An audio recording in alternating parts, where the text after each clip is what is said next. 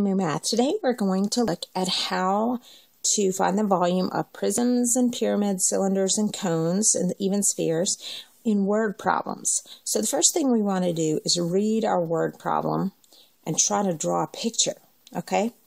It says, a prism has a square base with a width of 3. The volume is 90 cubic centimeters. A square pyramid has the same width for its base and the same height as a, the prism. What is the volume of the pyramid? Okay, so let's see. A prism has a square base. A prism has a square base with each side of 3. The volume is 90.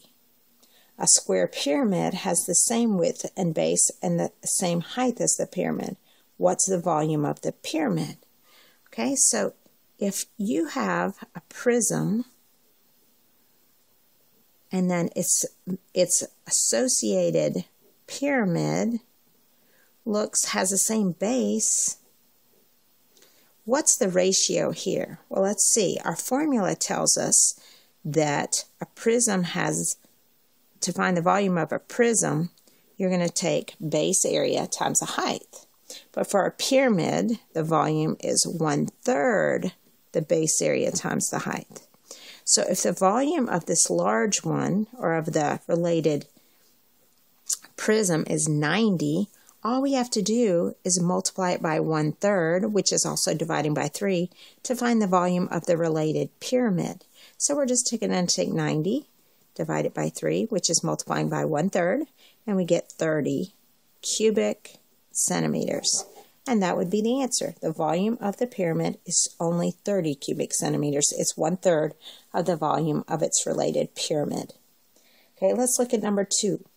The volume of a triangular prism whose base is an equilateral triangle with sides of 4 and a height of 10. Round to the nearest tenth. Okay, so this time we're finding the volume of a triangular prism. So let's underline that. Volume of a triangular prism. Let's draw a triangular prism. They tell us it's equilateral, which means all sides are the same. So 4, 4, and 4. And then the prism is 10 centimeters tall. So the prism up here has to be 10 high. Let's concentrate on this equilateral triangle first we know we have to find the base area first, then we multiply by the height, which is 10. Okay, so here's my equilateral triangle, 4 by 4 by 4. And what I'm going to do is I'm going to drop an altitude down here to find the height, because I need to find the height for my triangle, because the triangle formula is 1 half the base times the height. Well, the base in this case is 4. And the height is well, we have a couple ways we can do this one. If you know your 30, 60, 90 rules, you know that inside an equilateral triangle, if you drop an altitude, you've created a 30, 60, 90. Where this side right here is 2, it's half of the 4, and then you can multiply by the square root of 3 to get the height. So that would be 2 square root 3. Okay, if you didn't know that, you can also use the Pythagorean theorem. So let's go over here and use the Pythagorean theorem. We know this side's 4. We know, and I'm drawing this triangle right here, this side is 2. We need to know this side, the height. So let's take 2 squared plus b squared equals 4 squared.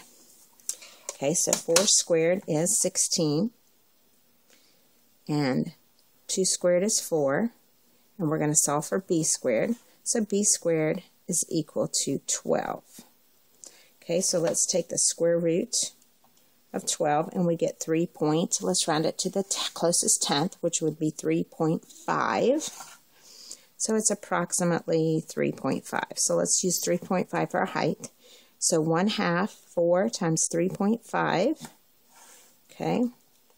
So 0.5 is a half times 4 times 3.5 and that gives us base area of 7. Ooh, that was a lot of work just to find the base area. But that's our base area. Now we're just going to take it times the height of the pyramid. Remember, the height was 10. So base area of 7, height of 10. That means the volume is 70 meters cubed, and there's our answer. Okay, so that is how you could draw a picture and label it and find the volume of the rectangular or the triangular prism. Hope this video was helpful.